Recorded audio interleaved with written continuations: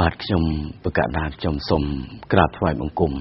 សម្ដេចព្រះសង្ឃរាជទាំងពីរគណៈជាទីគោរពសក្ការៈសូមលំអរកាយគោរពជំរាបសួរសម្ដេចលោកជំទាវអាដាមលោកជំទាវលោកលោកស្រីនាងកញ្ញាបងប្អូនទូលទស្សនិកជនទាំងអស់ដែលតែងតែនិយមគាំទ្រស្ដាប់និងទស្សនាជាមួយនឹងកម្មវិធីវិភាគព្រឹត្តិការណ៍សង្គមរបស់យើងហើយនៅក្នុងរាត្រីថ្ងៃច័ន្ទនេះការវិលមកវិញជាមួយនឹងនីតិវិភាគព្រឹត្តិការណ៍សង្គម ក៏នឹងនាំមកជូនជាមួយនឹងព្រឹត្តិការណ៍សំខាន់សំខាន់ថ្មីថ្មីមួយចំនួនទៀត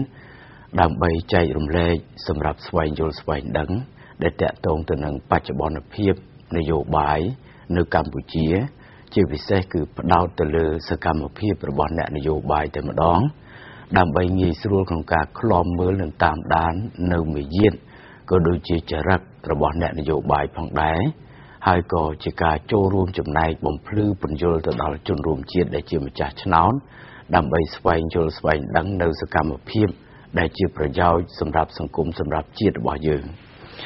បើយើងឃើញថានៅសប្តាហ៍កន្លងមកនេះតកតងទៅនឹងសកម្មភាពនៃអ្នកនយោបាយយើងឃើញថាកំពុងតែបង្ហាញនៅភាពផលផុសហើយជាពិសេសគឺគណៈបកប្រឆាំងនៅកម្ពុជា ក៏កំពុងតែបង្កើនកម្ដៅនយោបាយរបស់ខ្លួន នៅក្នុងការមូលបង្កាច់ចោលប្រកាន់ទៅលើគណៈបកផ្សេងដែលមិនមែនជាគណៈបករបស់ខ្លួន ហើយទាំងនេះគឺយើងរាប់បានថាគណៈបកប្រឆាំងនៅកម្ពុជា កំពុងតែប្រះចាកពីកន្លងប្រជាធិបតេយ្យដែលនិយាយចំការលើកឡើងរបស់គណៈបកប្រឆាំងគឺបានចោតប្រកាន់ទៅលើគណៈបកដតីរួមជាមួយនឹងបន្តោសបង្អាប់ គណៈបកដតីហើយលើកដំកើងខ្លួនឯងនេះគឺជាចរិតខលខូចបំផុតដែលកម្មវិធីរបស់យើងយល់ឃើញថា គួរតែលើកយកមកបញ្យលបំភ្លឺជូនទៅដល់ជនរួមជាតិដើម្បីពិចារណាទាំងអស់គ្នាបាទហើយវាគ្មិនកិត្តិយសរបស់យើង នៅក្នុងរាត្រីនេះគឺវត្តមានរបស់លោកបណ្ឌិតឈឹមផលបរុនដែលលោកតែងតែផ្ដល់ពេលវេលាដ៏មានតម្លៃជាមួយនឹងនីតិរបស់យើង បាទឥឡូវនេះខ្ញុំសូមងាកមកជួបជាមួយនឹងលោកបណ្ឌិតតែម្ដងបាទជំរាបសួរលោកបណ្ឌិតចំផលវរុនបាទជំរាបសួរលោកសាស្ត្រាបាទសូមអរគុណលោកបណ្ឌិតបាទសុខសប្បាយជាទេបាទសម្រាប់សប្តាហ៍នេះអបាទអរគុណបាទយើងឃើញថាពេលវេលានៃការចូលឆ្នាំ ថ្មីប្រពៃណីជាតិរបស់យើងក៏កាន់តែគៀកកាត់ខាត់ចូលមកដល់ហើយបងប្អូនប្រជាពលរដ្ឋទូទាំងប្រទេសហ្នឹងក៏បង្ហាញនូវភាពសោមនស្សរីករាយ រងចាំស្វាគមន៍ទេវតាឆ្នាំថ្មី ហើយជាងនេះទៅទៀតនៅតាមទីអារាមហ្នឹងក៏កំពុងតែរៀបចំធ្វើយ៉ាងណាឲ្យបានស្អាតស្អំដើម្បីទទួលនៅញាតិញោមពុទ្ធបរិស័ទដែលអញ្ជើញពីគ្រប់ទិសទី ចូលគោរពប្រតិបត្តិទៅតាមប្រពៃណីទំនៀមទម្លាប់របស់យើងអរគុណណាស់លោកបណ្ឌិតហើយនៅក្នុងរាត្រីនេះអ្វីដែលចង់លើកឡើងហ្នឹងគឺខ្ញុំមានសំណួរមួយចំនួនដែលតាក់ទងទៅនឹងចរិត របស់គណៈបកប្រឆាំងយើងឃើញថាថ្មីថ្មីនេះគណៈបកប្រឆាំងហ្នឹងគឺបានស្នើច្បាប់ស្ដីអំពីការដំឡើងប្រាក់ខែជូនកម្មករអីជាដើមហ្នឹងចំនួនប្រមាណដូចជា150ដុល្លារអញ្ចឹងការស្នើច្បាប់របស់គណៈបកប្រឆាំងនៅក្នុងគណៈនេះលោកមនិតយល់ឃើញយ៉ាងម៉េចដែរនៅចេតនានិងចរិតរបស់គណៈបកប្រឆាំងឬក៏ជាសកម្មភាពក្នុងការអាណិត ស្រឡាញ់គោរពទៅដល់កម្មករមន្ត្រីរាជការដូចដែលមាត់គេធ្វើឬក៏បង្កប់នៅពឹសពលមួយ សម្រាប់កេងចំណេញនយោបាយលោកបណ្ឌិតបាទបាទពាក់ព័ន្ធទៅនឹងរឿងសេចក្តីស្នើច្បាប់របស់គណៈបកប្រឆាំងឬក៏និយាយឲ្យចំតំណាងរាស្ត្ររបស់គណៈបកប្រឆាំងដែលគេចង់តម្លើងប្រាក់ខែមន្ត្រីបុគ្គលិករាជការក៏ដូចជា កម្មករកម្មការនីលក្ខណៈហ្នឹងអត្ថបទនេះខ្ញុំបានមើលដែរអត្ថបទនេះមិនមែនជាអត្ថបទច្បាប់ទេ គឺជាអត្ថបទនយោបាយហើយជាប្រឡោមលោកនៃការអន្តងឆក់អន្តងស្លឹកឆ្នោតពីប្រជាពលរដ្ឋទេពុំមានលក្ខណៈជាលក្ខណៈច្បាប់ដែលបង្កប់នៅអត្តន័យផ្សារភ្ជាប់ជាមួយនឹង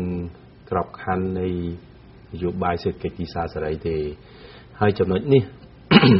ដែលខ្ញុំឆ្លៀតឱកាសក្នុងនាមជាពលរដ្ឋម្នាក់គឺសូមថ្លែងអំណរគុណដល់រដ្ឋសភា ដែលបានច្រានចោលសេចក្តីស្នើច្បាប់នេះ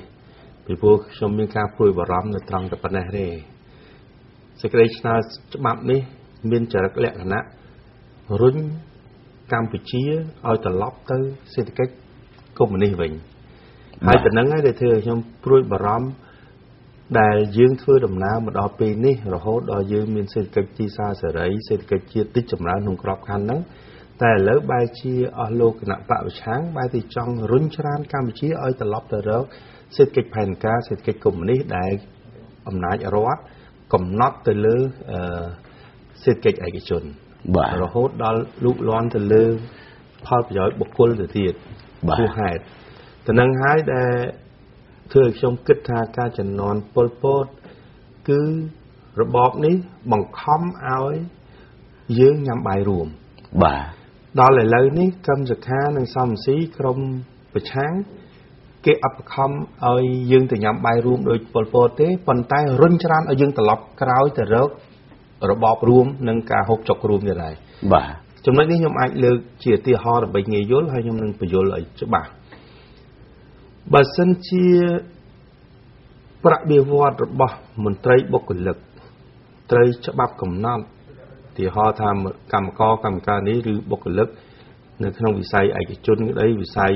អីផ្សេងផ្សេងហ្នឹងទីហោថា200ដុល្លារដែលគេចង់បានប៉ុន្តែវាអត់ឆ្លោះបញ្ចាំងទៅនឹងកំណើនសេដ្ឋកិច្ចទីផ្សារសេរី បានន័យថាកំណើនសេដ្ឋកិច្ចនៃសហគ្រាសនីមួយនីមួយពាក់ព័ន្ធទៅនឹងវិស័យ ចំនួនមកគេហ្នឹងដល់ច្បាប់កំណត់ទីហោថាកំណត់អបបមា200ដុល្លារអញ្ចឹងគឺជាការលូកលាន់ទៅលើសិទ្ធិស្វ័យសម្រេចរបស់អង្គភាពសេដ្ឋកិច្ចហើយដល់អញ្ចឹងខ្ញុំលើកឧទាហរណ៍ឲ្យងាយយល់ឧទាហរណ៍ដូចយើងនៅសិប្បកម្មមួយឬក៏នៅហាងកាទៀវមួយចុះងាយយល់បាទហាងកាទៀវហ្នឹងថាຂະຫນាតយើងមិនយកຂະຫນាតធំទេនៅពិបាកគុណលេខចែកលេខយើងយកតែຂະຫນាតតូចថាមាន20តុកលក់ រាល់ថ្ងៃរាល់ព្រឹកដល់បុគ្គលិកមានថា5នាក់ចាស់អញ្ចឹងបើច្បាប់កំណត់ថាយ៉ាងទាបបំផុត200ដុល្លារបុគ្គលិកទាំងអស់ត្រូវបាន200ដុល្លារបុគ្គលិកនៅហាងកាទៀវ200ដុល្លារព្រោះច្បាប់កំណត់ក្នុងវិសាលភាពហ្នឹងបាទអញ្ចឹងត្រូវកែឬក៏ម្ចាស់ភោជនីយដ្ឋានហាងកាទៀវហ្នឹងគ្នាត្រូវគោរពច្បាប់ហើយគ្នាអត់អាចជំទាស់បានទេបើលើ200បានតែក្រោម200បានព្រោះច្បាប់កំណត់200 អញ្ចឹងដើម្បីគោរពច្បាប់គឺត្រូវតែបំពេញ200ឲ្យបុគ្គលិកម្នាក់ម្នាក់ហ្នឹងយើងគិតទៅចុះចំណូលវិញធ្វើការហាងកាទៀវគេត្រូវគិតទៅបើចំណាយ1000ដុល្លារមួយខែសម្រាប់បុគ្គលិក5នាក់ព្រោះម្នាក់200អានឹងអត់គិតតម្លៃពលកម្មនិងពេលវេលានិងដើមទុនរបស់តកែហាងកាទៀវផងបាទអញ្ចឹងតើរកប្រភពចំណូលណាដើម្បីឲ្យគ្នា200មួយខែអញ្ចឹងវាត្រូវតម្លើងថ្លៃគុយទាវម្ចាស់ណាបាទ សប្តាហ៍គុយទាវមួយចានវានៅក្នុងចន្លោះ5000ទៅ10000អញ្ចឹងណាបាទតាមតូចតាមធំតាមຂະຫນាតរបស់វាអញ្ចឹងដើម្បីបានប្រាក់ខែវាតតម្លើងគុយទាវមួយចានហ្នឹងឲ្យឡើងទៅដល់5ទៅ10ដុល្លារចឹងតិចយើងគិតពីព្រោះសប្តាហ៍ថ្ងៃប្រាក់ខែក្នុងកម្រិតអបបអមាដែលតកែនីមួយៗគេកំណត់ប្រហែលជាមួយថ្ងៃនឹងចន្លោះ80ដុល្លារ បាទអញ្ចឹងបើសិនជាកំណត់ដល់200វាគុណនឹង3មិនមែនគុណនឹង2គុណ2កន្លះបាទអញ្ចឹងតម្លៃគុយទាវត្រូវឡើងដល់5ទៅ8ដុល្លារហើយបើ5ទៅ8ដុល្លារសួរថាអតិថិជនហ្នឹងមានលុយទៅញ៉ាំគុយទាវទៀតអត់នេះចាប់ដើមមានបញ្ហាសួរបើបើពេលហ្នឹងអតិថិជនអត់គ្នាត្រូវបង់លុយខ្ពស់គេមិនទៅញ៉ាំបាទដល់អញ្ចឹងនយោបាយរបស់កម្មសិក្ខាសមស៊ីនឹងនយោបាយប្រឆាំងនឹងគឺរុញឲ្យអ តិថិជន បាត់បង់ឱកាសនៅក្នុងការពង្វិលទុននៅក្នុងការហូបចុកនៅខាងក្រៅផ្ទះហ្នឹងណាជាឯកជនហ្នឹងអញ្ចឹងធ្វើឲ្យទីហោនៅក្នុងក្រុមការងារនៅក្នុងការិយាល័យមួយឬក៏នៅក្នុងកន្លែង office មួយអញ្ចឹងទៅ គេចង់ញ៉ាំកាទៀវគេលែងនាំគ្នាទៅហាងកាទៀវហើយ គឺនាំគ្នាស្រាក់លុយគ្នាឲ្យពីណាទៅទិញកាទៀវទិញសណ្ដែកបដោះទិញឆ្អឹងស៊ុបទិញទៅមកស្ងោហើយអញ្ចឹងចាប់ដើមអាហ្នឹងឯងគឺជានយោបាយរុញឲ្យត្រឡប់ទៅបាយរួមនឹងឯងបាទគេអត់បខំឲ្យទៅបាយរួមដូចពលពតទេប៉ុន្តែនយោបាយហ្នឹងគឺរុញឲ្យទៅត្រឡប់ទៅរកបាយរួមពេលហ្នឹងបើយើងចង់ញ៉ាំកាទៀវតលតែគ្នាយើងសហជីវិកនៅក្នុងអង្គភាពមួយហ្នឹងគ្នា10នាក់ឬ5 10នាក់លែងអាចទៅញ៉ាំកាទៀវបានណាព្រោះយើងចង់ញ៉ាំកាទៀវមានតែជជែកគ្នាចូលលុយគ្នាម្នាក់ ប្រហែល5000 1000ដើម្បីទិញទៀតហ្នឹងហ្នឹងរបៀបរុញទៅបាយរួមចំណុចហ្នឹងគឺគ្រោះថ្នាក់ណាដែលខ្ញុំសូមអរគុណចំពោះរដ្ឋសភាដែលទប់ស្កាត់មិនអោយនយោបាយរុញច្រានទៅបាយរួមនឹងបាននេះសំណាងណាដោយសាររដ្ឋសភាភាកច្រើននៃ123អាសនៈគឺ90អាសនៈជាគណៈបព្វជិជនកម្ពុជាណាបាទនឹងបើសិនជាខាងសំស៊ីកម្មសិក្ខាគេភាកច្រើនហើយសូវច្បាប់ ច្បាប់ហ្នឹងទៅដល់ច្បាប់ហ្នឹងទៅយើងរត់ទៅររបបកុម្មុយនីសដូចជំនាន់ពលពតហើយរុញទៅរច្រានទៅររបបអាហាររួមទៀតហើយហ្នឹងតែយើងគ្រោះថ្នាក់អរគុណលោកបណ្ឌិតបាទនេះជាចំណុចមួយដែលសូមឲ្យជនរួមជាតិធ្វើការផ្ដោតអារម្មណ៍និងពិចារណាទៅលើចរិតរបស់គណៈបកប្រឆាំងដោយដែលឧទាហរណ៍យ៉ាងខ្លីមួយដែលលោកបណ្ឌិតបានលើកយកអំពីដំណើរការនៃ ហាងគុយទាវដ៏តូចមួយ ហើយដែលកំណត់ឲ្យថ្លៃនៃកម្មករហ្នឹងគឺថាមានតម្លៃខ្ពស់រហូតដល់200ដុល្លារអញ្ចឹងយើងឃើញថាសូម្បីតែហាងកាទៀវហ្នឹងក៏វាបិទហើយបងប្អូនដែលជាកម្មករហ្នឹងក៏អត់ការងារធ្វើដែរនេះជាចំណុចមួយហើយរឿងដែលចាប់អារម្មណ៍បំផុតដោយដែលលោកបណ្ឌិតមានប្រសាសន៍ថាកឹមសុខាសំរងស៊ីនឹងកំពុងតែចង់រុញច្រានកម្ពុជាឲ្យទៅរក អ្វីដែលជារបបបល័យពូជសាសន៍ឡើងវិញនឹងគឺមិនខុសទេខ្ញុំនៅចងចាំបាន នៅការលើកឡើងរបស់លោកកឹមសុខាគាត់បានបញ្ជាក់ឲ្យគាត់ថាបើសិនណាជាគាត់ជាប់ឆ្នោតគាត់នឹងបែងចែកដីជូនប្រជាពលរដ្ឋជាចការកៅស៊ូនឹងមកគ្រួសារ5ហត្តាហើយគាត់នឹងបែងចែកប្រជាពលរដ្ឋនឹងទៅទៀតប៉ុណ្ណេះលៀនគ្រួសារឲ្យធ្វើជាកម្មករ ប៉ុណ្ណេះលៀនឲ្យធ្វើជាមន្ត្រីរាជការប៉ុណ្ណេះលៀនគ្រួសារឲ្យធ្វើខាងឧស្សាហកម្មលក្ខនឹងលក្ខអញ្ចឹងយើងឃើញថាការបែងចែកប្រជាពលរដ្ឋនេះគឺជាដំណើរយ៉ាងច្បាស់ដែលតាក់ទងទៅនឹងរបបបល័យពូជសាសន៍នឹងគេធ្វើអញ្ចឹងអញ្ចឹងបានថាចរិតដឹកនាំបែបបពប្រឆាំងនេះវាគ្រាន់តែជាសកម្មភាពបោកប្រាស់បងប្អូនប្រជាពលរដ្ឋហើយជាពិសេសគឺជាសកម្មភាពញុះញង់ដើម្បីឲ្យបងប្អូនប្រជាពលរដ្ឋបែកបាក់គ្នា សនុកគេប្រមូលនៅក្រមតូចណាមួយគ្រប់គ្រងនៅនយោបាយទុច្ចរិតរបស់ខ្លួននឹងតែប៉ុណ្ណឹងបាទអរគុណបាទអញ្ចឹងឥឡូវនេះយើងឃើញថាសកម្មភាពរបស់គណៈបកប្រឆាំងនឹងមិនមែនត្រឹមតែដោយដែលខ្ញុំបានលើកពីរឿងនយោបាយចែកដីចែកប្រជាពលរដ្ឋប្រប៉ុណ្ណេះប្រប៉ុណ្ណោះឲ្យធ្វើនេះធ្វើនោះអានឹងវាជាចរិតពលពតដែរហើយនៅមានចំណុចតាក់ទងទៅនឹងការសុំតម្លើងប្រាក់ខែនឹងផងដែរ លោកបណ្ឌិតយល់ឃើញថានេះគឺជាសកម្មភាពគ្រាន់តែធ្វើឲ្យល្អមើលរបស់ពួកប្រឆាំងនឹងឬក៏យ៉ាងម៉េចដែរទៅលោកបណ្ឌិតបាទបាទ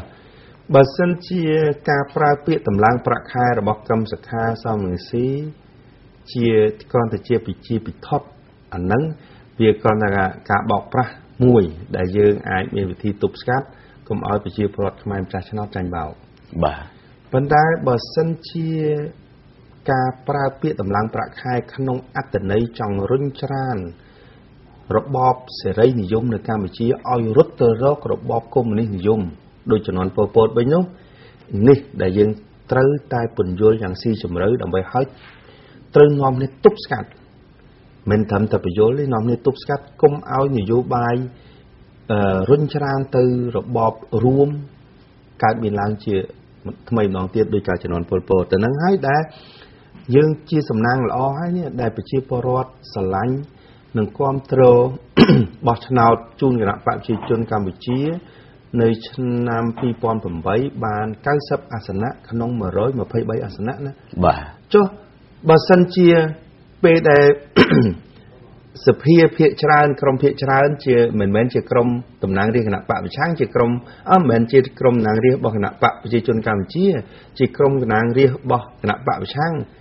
គឺគេអាច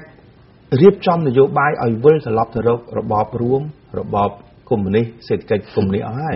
នេះហើយជាជាជាចល័យកបញ្ជាក់ជូនប្រជាពលរដ្ឋខ្មែរថា ដើម្បីការពារនៅសេដ្ឋកិច្ចទីសាសេរី គឺសំខាន់ណាស់យើងត្រូវ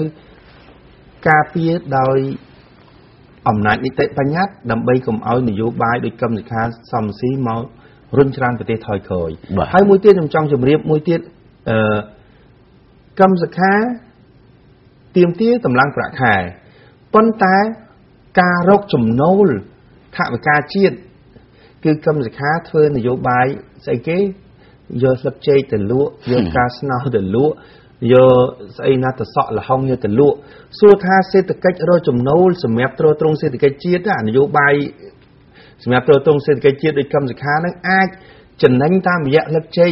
ការកផ្លោកការស្នោនឹងកើតអត់ដើម្បីតម្លើងប្រាក់ខែគេបានណអញ្ចឹងយើងឃើញថាកម្មសិក្ខានិយាយនេះគឺវាមានករណីមួយល្ងងខ្លៅប៉ុន្តែចង់អូសទាញប្រជាពលរដ្ឋមួយទៀតមានចរិតចង់យករបបកុម្មុយនីសនិងសេដ្ឋកិច្ចកុម្មុយនីសយកអនុវត្តនៅលើប្រទេសកម្ពុជាម្ដងទៀតតែហ្នឹងដែលយើងមើលឃើញ កម្មសខាមិនអាចយកប្រាក់ចំណូលតាមរយៈលក់ស្លឹកចេកការស្នោបានទេគឺប្រកាសជាបង្ខំប្រជាពលរដ្ឋឲ្យធ្វើការជាទម្ងន់ដើម្បីអឺរកចំណូលមកទ្រទ្រង់ថវិកាជាតិហើយដើម្បីយកមកតម្លើងប្រាក់ខែហើយចំណុចហ្នឹងយើងធ្លាប់ជួបណារបបប៉ុលពតគឺបង្ខំឲ្យយើងធ្វើការជាទម្ងន់ណានេះហើយជឿទេជឿថាកម្មសខាបង្ខំឲ្យយើងធ្វើការជាទម្ងន់អាចឲ្យប្រាក់ខែខ្ពស់ទេប្រកាសជាស្តៀងប៉ុលពតហើយមិន គ្រាន់តែសន្យាតម្លើងប្រាក់ខែទេប៉ុន្តែដល់ពេលធ្វើការជាទម្ងន់កម្មសិក្ខាក៏មកយើងមានប្រាក់ខែខ្ពស់ដែរដូច្នេះរឿងប្រជាពិធប្រាក់ខែខ្ពស់នេះគឺគ្មានន័យទេ នៅក្នុងសង្គមសេរីគេត្រូវតម្លើងប្រាក់ខែឲ្យស៊ីជាមួយនឹងកំណើនសេដ្ឋកិច្ចនិងកំណើនសេដ្ឋកិច្ចជាតិនិងកំណើនសេដ្ឋកិច្ចឯកជនបាទបាទឥឡូវនេះក៏សូមពេលវេលាសម្រាប់បន្តិចសិន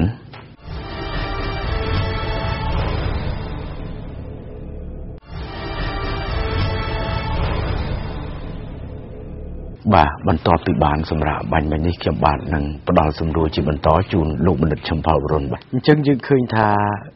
សកម្មភាពដែលគណៈបពប្រឆាំងកំពុងតែទទួលបាននាពេលបច្ចុប្បន្នដែលយើងសម្លឹងឃើញថាកឹមសុខាបន្ទាប់ពីខិតខំប្រឹងប្រែងភូតកុហកបោកប្រាស់ប្រជាពលរដ្ឋកាលពីអាណត្តិទី4ហ្នឹងគឺគាត់ទទួលបានតែ3កៅអីទេហើយសម្រាប់លោកសំរងស៊ីនោះក៏ប្រឹងភូតប្រឹងកុហក ប្រជាពលរដ្ឋហ្នឹងក៏ទទួលបានតែ26កៅអីដែរអញ្ចឹងទាំង26បូកជាមួយនឹង3កៅអីរបស់កឹមសុខានេះគឺជាសញ្ញាដែលបញ្ជាក់ឲ្យឃើញថាប្រជាពលរដ្ឋភាគតិចណាស់ដែលគ្រប់គ្រងទៅលើមារយាទរបស់គណៈបពប្រឆាំងហើយការគ្រប់គ្រងទៅលើមារយាទរបស់គណៈបពប្រឆាំងនេះគឺជាការគ្រប់គ្រងដោយបងប្អូនយើងរំភើបច្រឡំជឿទៅលើសម្ដីសន្យារបស់ពួកប្រឆាំងនេះឯង ឥឡូវនេះខ្ញុំងាកទៅរកចំណុចនឹងដដែលដោយដែលលោកបណ្ឌិតជ្រាបហើយថា បន្ទាប់ពីសភា បានច្រានចោលនៅសំណើរបស់គណៈបពប្រឆាំងដែលសុំដំឡើងប្រាក់ខែ150ដុល្លារក្តី1លានក្តីទៅដល់កម្មករមន្ត្រីរាជការនេះ បានធ្វើឲ្យគណៈបពប្រឆាំងនឹងចោតប្រកាន់មកលើរាជរដ្ឋាភិបាលថា រាជរដ្ឋាភិបាលនឹងគ្មានចេតនាក្នុងការដំឡើងប្រាក់ខែជូនកម្មករជូនមន្ត្រីរាជការបាទ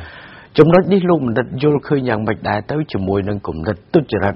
របស់គណៈបកប្រឆាំងនេះបាទបាទល្អណាស់លោកសាស្ត្រាចំពោះសំណួរនេះដើម្បីឲ្យប្រជាពលរដ្ឋបានយល់បាទដើម្បីឲ្យយើងឃើញថាការស្នើច្បាប់អ្វីមួយ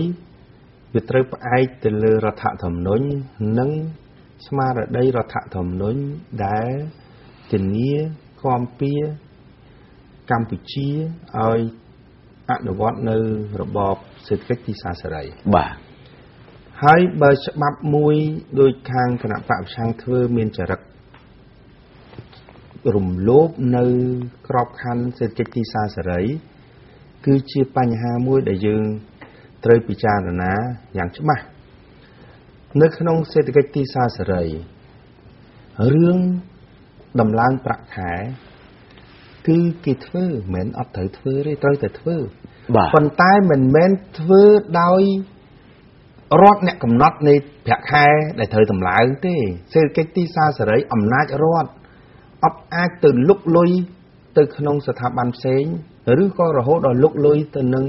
ផលប្រយោជន៍បុគ្គលទេផ្ទុយទៅវិញគឺការពារផលប្រយោជន៍បុគ្គលបាទឯរឿងតម្លើងប្រាក់ខែកម្មសខាគ្រាន់តែចង់បាន តម្លើងប្រាក់ខែឲ្យកម្មករកម្មការនេះមន្ត្រីបុគ្គលិកបាទណាឥឡូវយើងនិយាយទៅវិស័យឯកជនតម្លើងបុគ្គលិកហាងកាទៀវឬខ្ញុំនិយាយក៏តែអតិថិជនគិតមិនហើយកម្មសខាចោទថាអញ្ចឹងកម្មសខាគាត់បាយបិណ្ឌជាបាយបានត្រឡប់ទៅលិនអត់ដឹងអីនេះចោទប្រកាន់អំពីតម្លៃទំនិញឡើងថ្លៃស្រាប់ទៅតម្លើងប្រាក់ខែឲ្យបុគ្គលិកដូចខ្ញុំនិយាយហាងកាទៀវប៉ុន្តែវាវិធីដែលកម្មសខាធ្វើទៅជារុញឲ្យ តម្លៃកាទៀវមួយចានថ្លៃដដែលហ្នឹងថ្លៃលើសមួយជាពីរបាទដូច្នេះសេដ្ឋកិច្ចរបស់កម្មសខានេះគឺជាសេដ្ឋកិច្ចដែលគឺជានយោបាយបំផ្លាញសេដ្ឋកិច្ចជាតិនៅក្នុងសេដ្ឋកិច្ចទីសាសេរីសេដ្ឋកិច្ចជាតិត្រូវបានទ្រទ្រង់ដោយសេដ្ឋកិច្ចឯកជន និងសេដ្ឋកិច្ចគ្រួសារប៉ុន្តែទាំងសំរងស៊ីទាំងកឹមសខាយកវិស័យឯកជនជាសត្រូវបាទ នេះមួយទី2កឹមសខាសំស៊ីពុំដែលមាននយោបាយទ្រទ្រង់វិស័យគ្រួសារនិងវិស័យឯកជនទេឧទាហរណ៍វិស័យគ្រួសារកឹមសខាដូចលោកសត្វសរៈបានលើកទៅសន្យាឲ្យគោឲ្យកបីឯណានោះវិញអានោះមិនមែនការលើកស្ទួយទេអានេះគឺការយកអំណាចរដ្ឋមកមកដាក់មកដាក់ចំណោះបាទហើយហ្នឹងបើនៅក្នុងសេដ្ឋកិច្ចទីសាសេរីរដ្ឋទ្រទ្រង់ សេដ្ឋកិច្ចគ្រួសារដោយវិធីផ្ដល់លទ្ធភាពទូលំទូលាយគ្រប់ក្នុងក្របខ័ណ្ឌសេដ្ឋកិច្ចហើយធ្វើឲ្យចរន្តនៃអង្គភាពសេដ្ឋកិច្ចនីមួយៗមានភាពល្អុកល្អឿននិងសុខដុមរមនាជាមួយគ្នា បានន័យថាផ្ដល់នៅផលប្រយោជន៍ទៅវិញទៅមកហើយការផ្ដល់ផលប្រយោជន៍គ្នាទៅវិញទៅមកខ្ញុំលើកទៅឧទាហរណ៍នយោជកនិងនយោជិកដូចនៅក្នុងរោងចក្រគឺនយោជ កត្រូវតែតម្លើងប្រាក់ខែ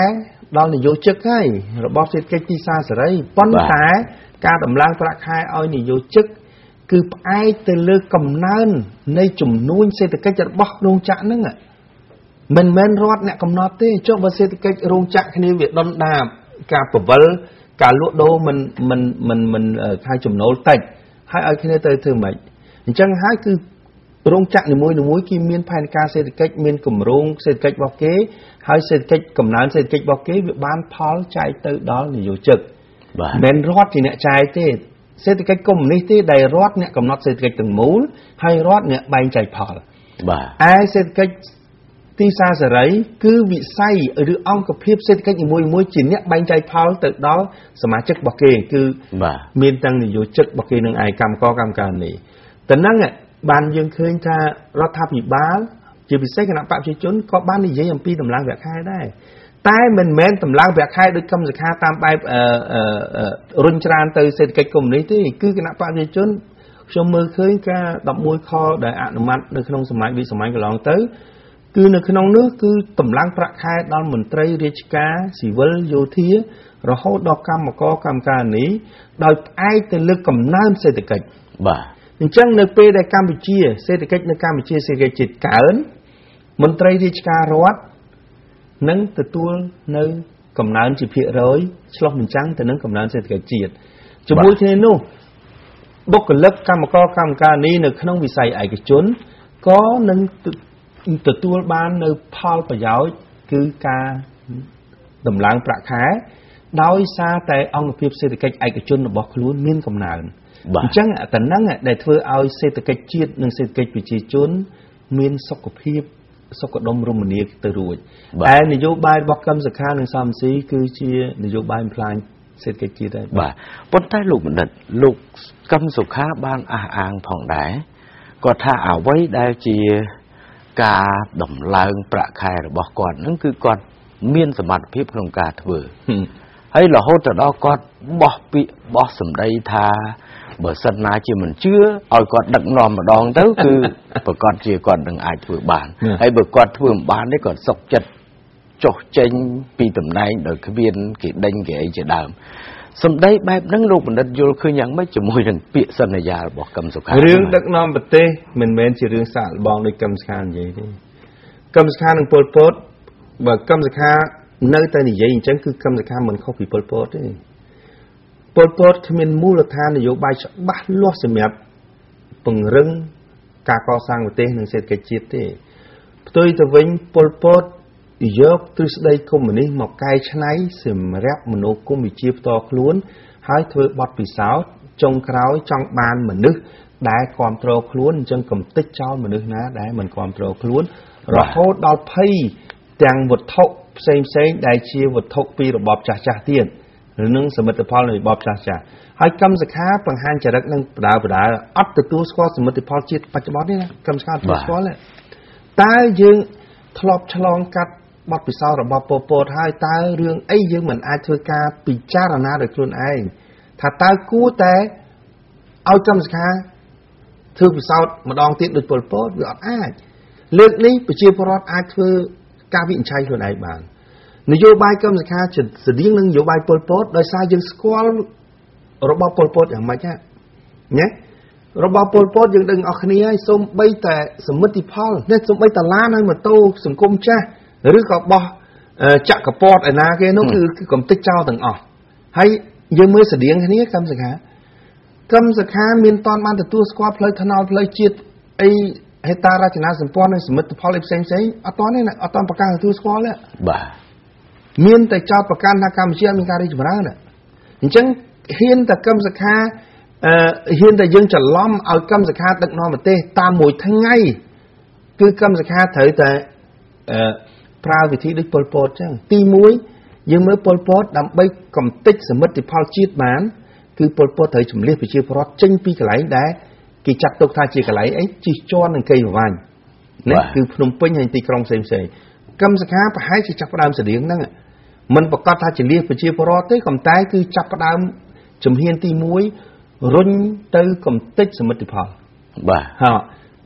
ទី2កម្មសខានឹងលុបចោលប្រព័ន្ធសេដ្ឋកិច្ចទាំងអស់បាទពីព្រោះកម្មសខា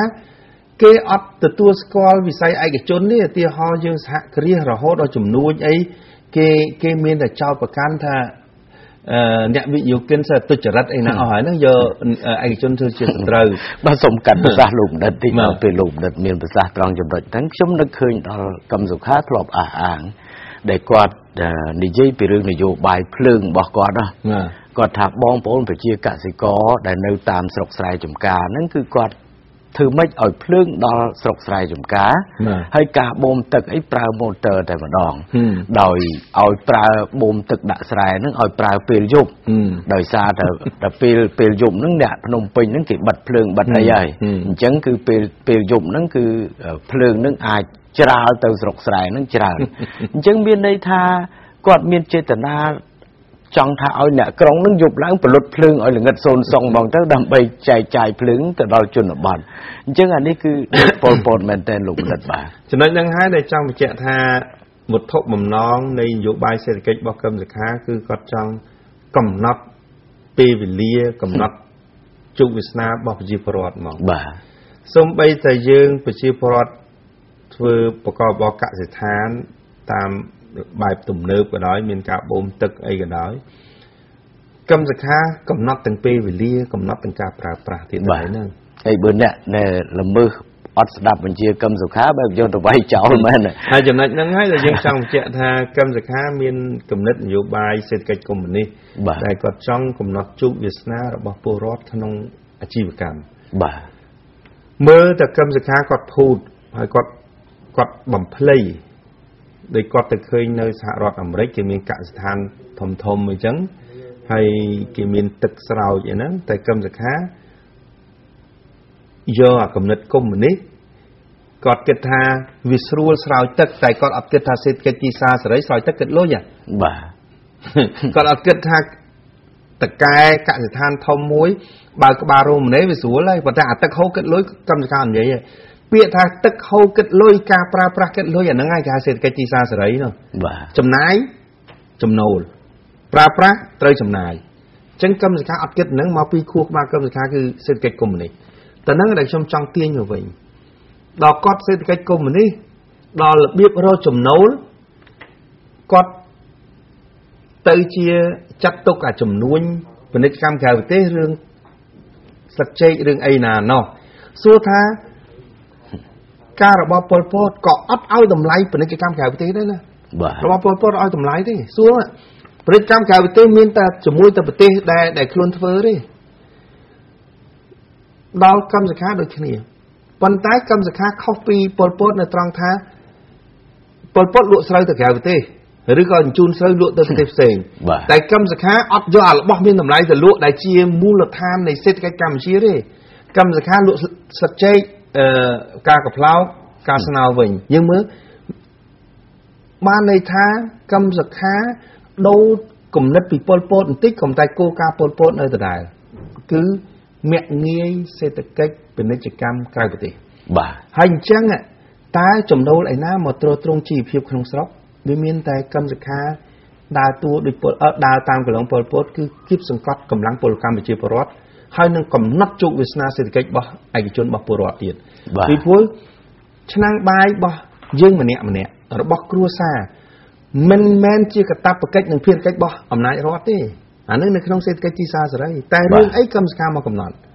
ណាតែនឹងដែលយើងគួរពិចារណាសេដ្ឋកិច្ចរបៀបហ្នឹងរហូតដល់យកវិស័យឯកជនធ្វើជាសត្រូវតើសេដ្ឋកិច្ចជាតិនៅក្នុងរបបសេដ្ឋកិច្ចទីផ្សារសេរី ធ្វើម៉េចនឹងមានកំណើនបានបាទបើមូលដ្ឋានគ្រឹះនៅសេដ្ឋកិច្ចទីផ្សារសេរីគឺសេដ្ឋកិច្ចឯកជននិងសេដ្ឋកិច្ចគ្រួសារចុះបើកម្មសខាកំតិចចោលអាហ្នឹងទៅហើយហ្នឹងតើសេដ្ឋកិច្ចជាតិបានមកពីណាបាទឥឡូវនេះក៏សូមពេលវេលាសម្រាប់បន្តិចសិន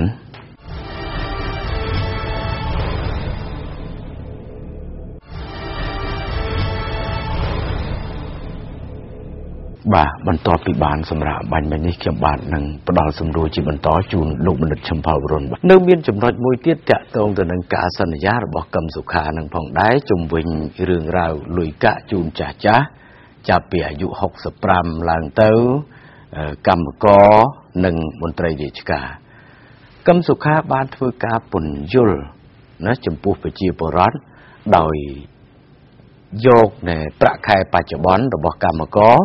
យកមកប្រៀបធៀបជាមួយនឹងលុយខ្យល់របស់កម្មសុខាគាត់ថាឥឡូវនេះចាស់ចាស់អត់មានបានទទួលប្រាក់ខែអីមួយរៀលទេ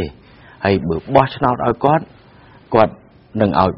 40000ហើយគាត់សួរថាឥឡូវអាអត់ឲ្យ40000យកណាហឹមណែហឹមនេះគឺជាចំណុចដែលដែលកម្មសុខាធ្វើការបញ្យល់ហើយមួយវិញទៀតគាត់ថាឥឡូវនេះ ប្រាក់ខែកម្មករទទួលបាន80ដុល្លារក្នុងមួយខែហើយសម្រាប់បើបោះឆ្នោតឲ្យគាត់គាត់នឹងឲ្យ150ដុល្លារហើយគាត់ធ្វើការប្រៀបធៀបឥឡូវនេះ80ហើយនឹង150ដុល្លារណាយកមួយណាណែនិយាយទៀតហើយសម្រាប់មន្ត្រីរាជការឥឡូវប្រាក់ខែ50 60ម៉ឺន70ម៉ឺនហើយបើ បោះឆ្នោតឲ្យគាត់គាត់ឲ្យ1លានអញ្ចឹងគាត់សួរអា70ម៉ឺនហើយនឹង1លានយកមួយណាហើយអញ្ចឹងនេះគឺជាការប្រៀបធៀបរបស់កម្មសុខាហឹមអញ្ចឹងចំណុចនេះខ្ញុំចង់ឲ្យលោកបណ្ឌិតជួយពន្យល់ជូនជនរួមជាតិហើយជាពិសេសបងប្អូនកម្មករកម្មការនេះមន្ត្រីរាជការខ្ញុំជឿជាក់ថាពួកគាត់មិនជឿកម្មសុខាបាទទេប៉ុន្តែខ្ញុំចង់ឲ្យលោកបណ្ឌិតជួយពន្យល់មើលថាតើការប្រៀបធៀបរបស់ កឹមសុខាតាក់ទងទៅនឹង80ហើយនឹង150យកមួយណាហ្នឹងគឺជាការប្រៀបធៀបដែលមានចរិតបែបណាដែរទៅលោកបណ្ឌិតបាទហើយអាចនឹងផ្ដល់ប្រយោជន៍ដល់បច្ចុប្បន្នជូនកម្មករជូនមន្ត្រីរាជការទេបាទណា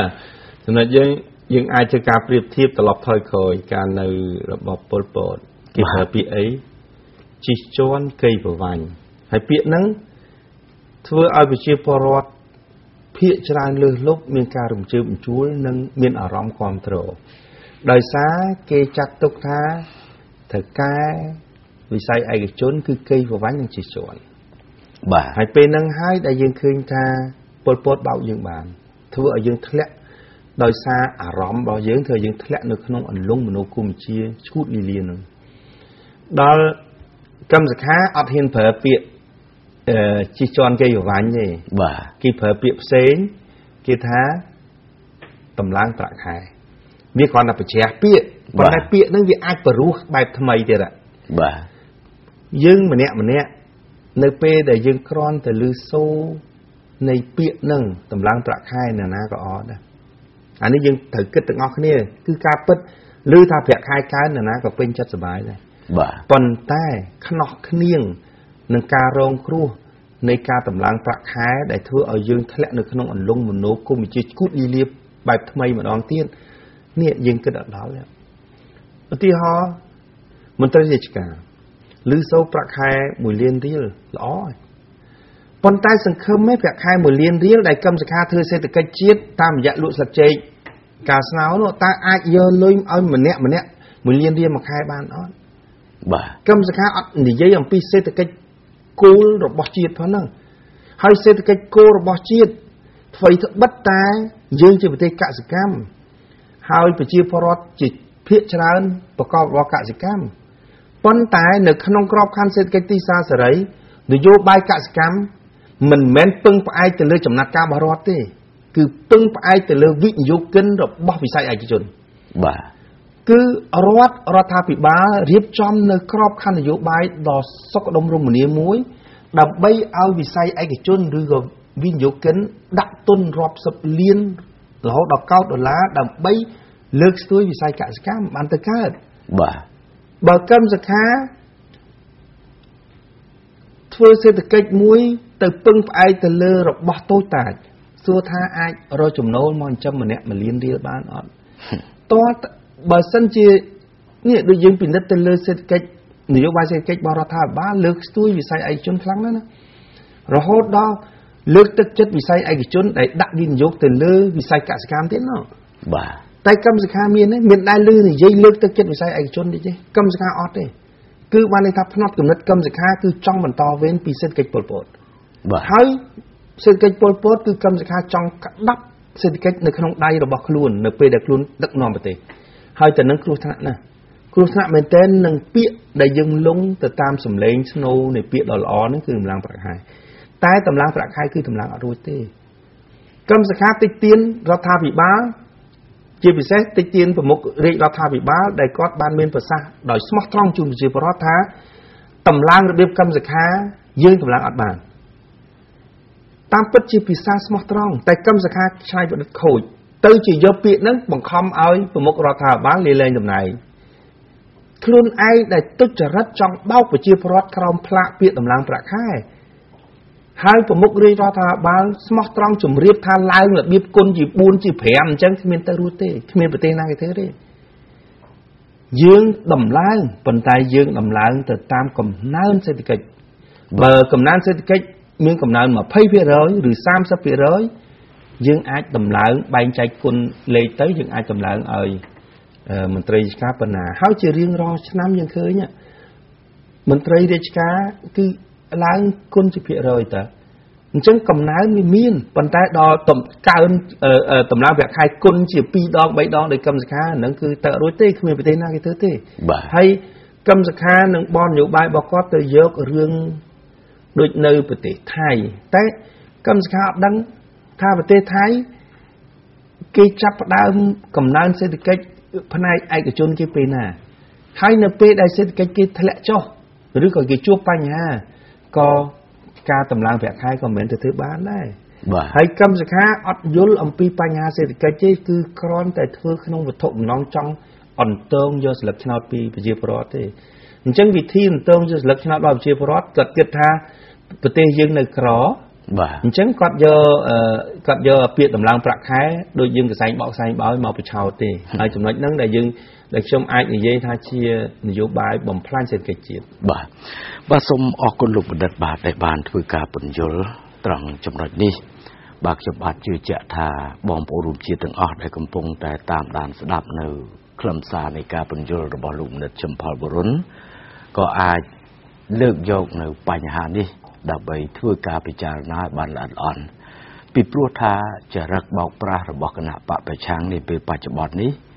និយាយចំគឺគេបង្កើតបញ្ហាឲ្យបានច្រើន ដើម្បីបង្កើតនៅភាពស្រមើស្រវៃឬក៏ការមន្ទិលទៅដល់បងប្អូនប្រជាពលរដ្ឋហើយចង់មិនចង់បើសិនណាជាបងប្អូនទាំងអស់ខ្វះការពិចារណានោះគឺអាចនឹងរអិលធ្លាក់ ទៅក្នុងល្បិចកលរបស់គណៈបពប្រឆាំងនេះឯង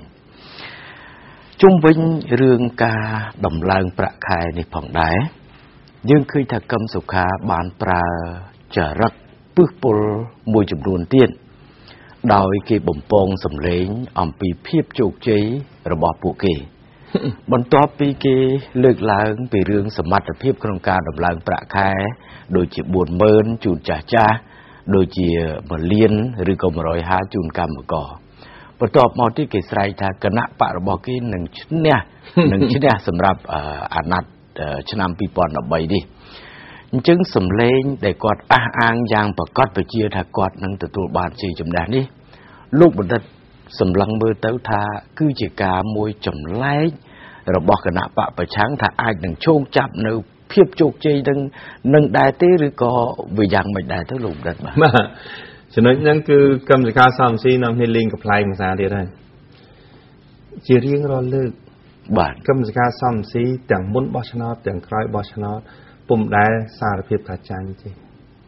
បាទកម្មសិក្ខាថាបានអឺកាល2008ក៏ថាបាន58ទៅជាង60ដល់ពេលចាក់ស្ដែងបាន13ក៏កម្មសិក្ខាថាឈ្នះ អារឿងដូរដូរហ្នឹងនិយាយទៅដូរហ្នឹងសង់ត្រឡប់អាអសដដល់ស្អូនឹងរហ្នឹងគឺចង់ប្រមាណត្រឡប់ហើយអាហ្នឹងបើមនុស្សនឹងបាក់កកដហ្នឹងប្រមាណដងហើយវាគិតទៅវាវាដូរហ្នឹងវិលអស់ហើយប៉ុន្តែបន្ទាប់ពីទៀមទាឬក៏ប្រើពាក្យសង្ខោញថាដូរដូរខ្លួនក៏បង្ហាញពីភាពសពិចសពិលនៃរបស់ដែលអាចនឹងធ្វើឲ្យខ្លួនឯងចុកចាប់ប្រសាទៀតគឺអីគេ គឺការពំទុកចិត្តពីប្រជាពលរដ្ឋចំពោះនយោបាយដូរដូរហ្នឹងបាទកម្មសខាលេងកំ pl ែងថាក៏ដូចសំស៊ីដែរក៏លេងកំ pl ែងដូចគ្នាថាប្រជាធិបតេយ្យគឺតតដូរពួកគាត់នេះគឺក៏រនតែជាមនុស្សកន្លះក្អមខាងនយោបាយប្រជាធិបតេយ្យទេបាទប្រជាធិបតេយ្យនយោបាយប្រជាធិបតេយ្យក្របខ័ណ្ឌគ្រប់គ្រងប្រទេសបែបប្រជាធិបតេយ្យមិនមែនផ្ដោតទៅលើដូរទេផ្ដោតទៅលើឆន្ទៈប្រជាពលរដ្ឋ បើប្រជាពលរដ្ឋចង់រក្សាចង់បន្តនេះជាឆន្ទៈប្រជាពលរដ្ឋតែបើប្រជាពលរដ្ឋមិនពេញចិត្តចង់ដូរនេះក៏ជាឆន្ទៈរបស់ប្រជាពលរដ្ឋបានន័យថាវាផ្អែកទៅលើឆន្ទៈរបស់ប្រជាពលរដ្ឋចង់អ្វីដែលជាភាកច្រើនបាទតែនឹងហើយដែលយើងមើលឃើញបោះឆ្នោតរដ្ឋសភាបន្តបន្ទាប់មកគឺប្រជាពលរដ្ឋអត់មានចង់ដូរទេ គឺចង់ឲ្យបន្តការអភិវឌ្ឍពីព្រោះអារឿងដូរនេះ ប្រជាជនកម្ពុជាជួបគ្រោះថ្នាក់ប្រមាណលើកហើយគ្មានការដោះដូរណាមួយដែលនាំឲ្យសេចក្តីសុខដល់ជូនប្រជាជាតិកម្ពុជាទេអានេះយើងមើលទាំងអស់គ្នាកុំចេះនេះយើងមិនចង់លើកឈ្មោះរបបនេះរបបនេះកុំឲ្យតែប៉ះពាល់តែការដូរថ្នាក់ដឹកនាំនិងដូររបបនយោបាយរាល់លើកប្រជាជាតិកម្ពុជាពុំដែលទទួលបានសេចក្តីសុខទេអរគុណលោកបណ្ឌិតបាទតកតងទៅនឹងសម្រែកជោគជ័យរបស់នៃគណៈបកប្រឆាំង ដោយដែលលោកបណ្ឌិតមានប្រសាសន៍អញ្ចឹងយើងឃើញហើយថា3អាណត្តិមកហើយដែលគណៈបកសំរងស៊ីទទួលរងនៅភាពបរាជ័យយ៉ាងអាម៉ាស់យ៉ាងអាប់យុះនៅចំពោះមុខបងប្អូនប្រជាពលរដ្ឋដោយសារតែអំនួត ហើយឥឡូវនេះយើងឃើញថាបន្ទាប់ពីគណៈបកទាំងពីរហ្នឹងគេបង្កើតសម្បកថ្មីមួយប៉ុន្តែអ្នកដឹកនាំហ្នឹងគឺសិតតែអ្នកចាញ់ឆ្នោតដដែលដែលចូលរួមនៃបោះឆ្នោតហ្នឹងដែលចូលរួមប្រកួតប្រជែងដឹកនាំបកហ្នឹងគឺសិតតែអ្នកចាញ់ឆ្នោតអញ្ចឹងយើងឃើញថាវាមិនអាចទៅរួចបានទេពីព្រោះថាគាត់មិនមែនជាមនុស្សដែលមិនធ្លាប់ប្រកួតប្រជែងនោះទេបាទហើយក៏គាត់ហ្នឹងក៏មិនមែនជាមនុស្សដែលមិនធ្លាប់ចាញ់នោះដែរប៉ុន្តែឥឡូវនេះ យើងឃើញថាបន្ទាប់ពីគេលើកដំកើងក្រុមរបស់គេបនរបស់គេហ្នឹងគឺគេបានពោលពាក្យថាសម្ដេចអគ្គមហាសេនាបតីតេជោហ៊ុនសែនរហូតទៅដល់បច្ចុប្បន្ននេះដោយសារតែឃើញកំណើនរបស់គណៈបកគេថ្មីហ្នឹងវាគ្នាច្រើនអីចឹងទៅ សម្ដេចហ៊ុនសែនមានការភ័យខ្លួនរហូតទៅដល់សុំសัญลักษณ์ឆ្នោតអឺ ប្រជាពលរដ្ឋតាមរយៈការប្រើពាក្យ4ឃ្លាបាទណិតបើស្រឡាញ់បើជឿជាក់បើទុកចិត្តសូមបោះឆ្នោតជូនគណៈបកប្រជាជនណាគេថាសម្ដីនេះគឺជាសម្ដីភ័យរហូតដល់សូមសន្លឹកឆ្នោតទស្សនៈនៃការលើកឡើងបែបបៃលុកបៃលរបស់កឹមសុខានេះលោកបណ្ឌិតយល់ឃើញយ៉ាងម៉េចបាទតាមពិតសារនយោបាយរបស់ប្រមុខរាជរដ្ឋាភិបាលដែលបញ្ជាក់ថាបើស្រឡាញ់គាត់យើងប្រើពាក្យឲ្យដូចបើស្រឡាញ់ហ៊ុនសែន អាណិតហ៊ុនសែនពេញចិត្តហ៊ុនសែនជឿជាក់លើហ៊ុនសែនបាទគឺបោះឆ្នោតជូនគណៈបកប្រជាជនកម្ពុជាបាទសារនយោបាយនេះណាមានន័យស្មើនឹងមគ្គទេសនយោបាយហើយមគ្គទេសនយោបាយឬក៏សារនយោបាយហ្នឹងប្រៀបដូចជាសមួយទៅបុកចំកណ្ដាលធុងមេបពប្រឆាំងដែលធ្វើឲ្យពួកគាត់អួលសំឡេងដល់អួលសំឡេងគឺអាសំឡេងស្រែករណីមិនឃើញគ្រាន់តែជាការ ចង្អុលគេចង្អុលឯងទេខ្ញុំលើកមួយឲ្យប្រជាប្រដ្ឋពិចារណាសារនេះណាធ្វើឲ្យគណៈបកប្រចាំងភ័យណាស់យើងអាចដឹងទាំងអស់គ្នាណាកឹមសខាសំស៊ីធ្លាប់ខ្លាចពេកភាពសម្ដេចនាយករដ្ឋមន្ត្រីតាំងពីអើយហើយក្រុមខំរកវិធីអុចអាលញុះញង់ធ្វើយ៉ាងណាឲ្យគណៈបកប្រជាជនពិចារណាពេកភាពនាយករដ្ឋមន្ត្រីថ្មី ធ្លាប់អុចអាលញុះញង់ប្រជាពលរដ្ឋឲ្យស្អប់ពេកភាពនាយករដ្ឋមន្ត្រីដែលគណៈបកប្រជាជនបានទុកចិត្តទៅលើសំណាក់នាយករដ្ឋមន្ត្រីហ៊ុនសែនបាទប៉ុន្តែវិធីញុះញង់ទាំងអស់នោះទាំងគណៈបកប្រជាជនគ្រប់ជាន់ថ្នាក់ទាំងប្រជាពលរដ្ឋ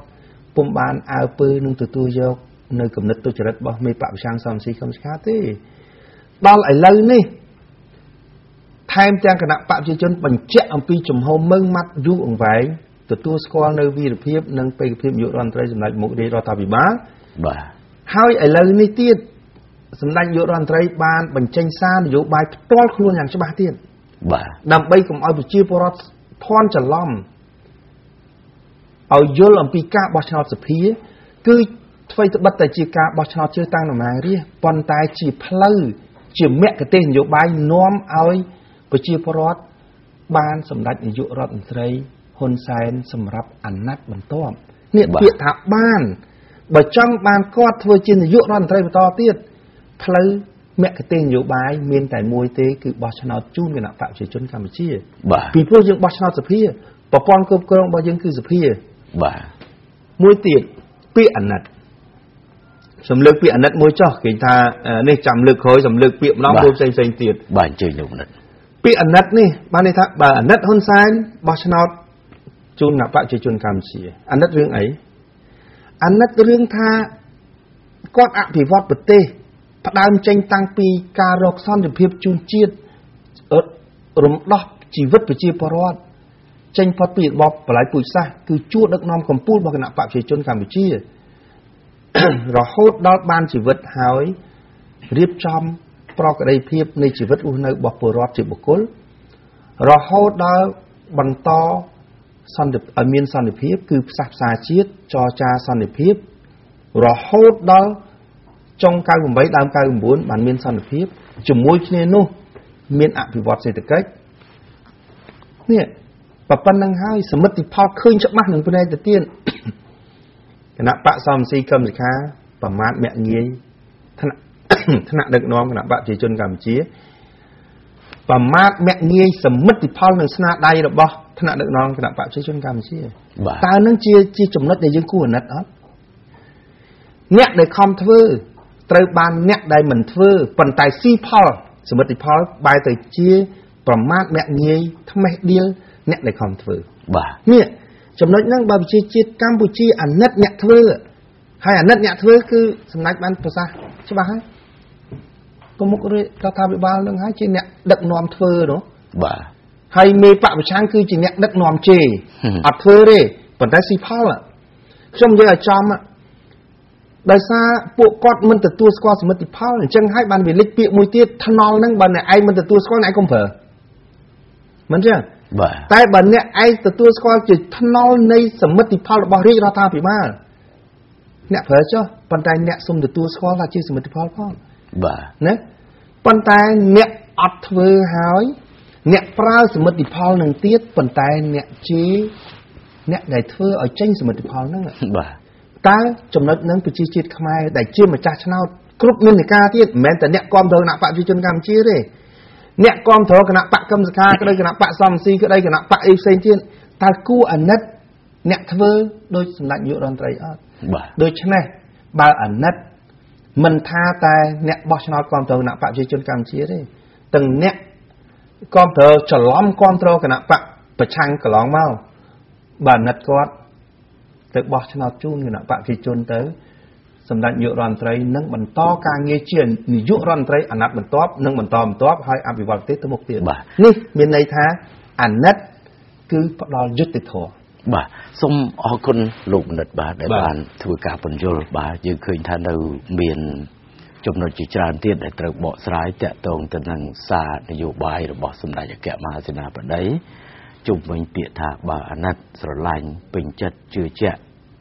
ចំពោះសម្ដេចសូមបោះឆ្នោតជូនគណៈបកប្រជាជននឹងគឺមានន័យជាច្រើនទៀតឥឡូវនេះដោយសារពេលវេលានៃនីតិយើងបានរំកិលនឹងឈានដល់ទីបញ្ចប់ខ្ញុំបាទសូមថ្លែងអំណរគុណសម្ដេចលោកជំទាវអាដាមលោកជំទាវ លោកលោកស្រីនាងកញ្ញាបងប្អូនរួមជាទាំងអស់ដែលបានតាមដានទស្សនានិងតាមដានស្ដាប់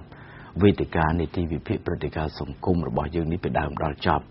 បាទសម្រាប់ពេលនេះខ្ញុំបាទរួមជាមួយនឹងសហការីសូមអរគុណសូមជម្រាបលាបាទ